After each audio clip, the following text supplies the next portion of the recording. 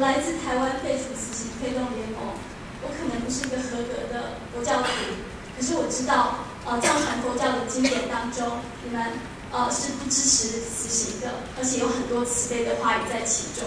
那尊者也曾经公开的表示，他是不支持死刑的。台湾目前虽然从二零零五年没有死刑的执行，可是我们一直在面临这些死刑犯随时有被执行的可能。现在有四十一个呃定验的死刑犯，所以我希望呃尊者可以呃告诉我们，作为一个佛教徒，您对死刑的看法。还有，或许他们是不被祝福的一群人，可是我希望有机会，尊者可以在心中为他们祈福。谢谢。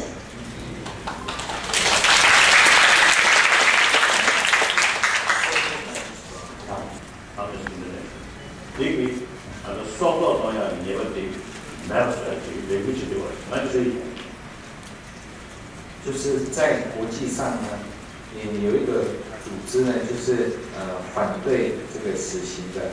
那同样我也有，我也是其中的一份子，我也有签过的。嗯。双报当年严重的毛发的这个，呃，他说的，呃。年轻青年，用主要他去的，再加上双报新政治的，你要三年不就白了。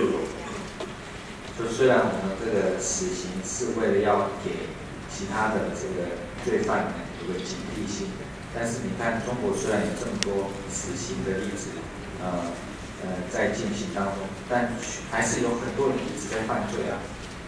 哦，没上的就是当你开始就是这样，女人吃了点好看。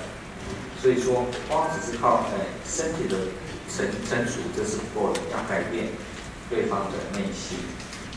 再哪的，呃，二十六岁年光是就开始有，家人有，什么是哪里啊？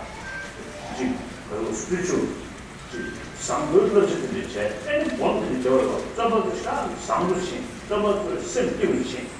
哎，现在交完的话，女的上呢，你上不下去，肯定有多。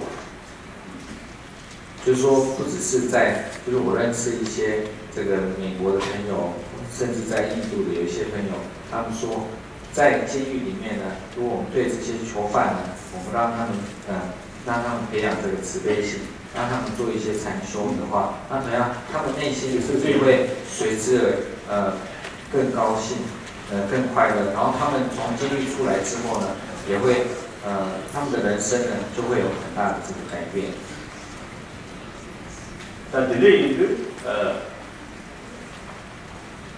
通常人都讲的嘛是假的，他说的你呃身体都是这样，但你开始上肌肉或者哪个连接，你上头就得重了，那你或者没对肌肉呢，你要上面弄出来，对不对？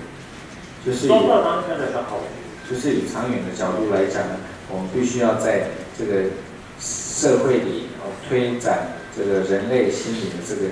价值，那光只是以死刑想要来抑制这个呃犯罪率的话，可能不是那么呃简单的。这样子的目的才要。所以你在呃推行的这个活动呢，你一定要坚持下去。来，大家好，不起收音。那我在此跟大家说声谢谢。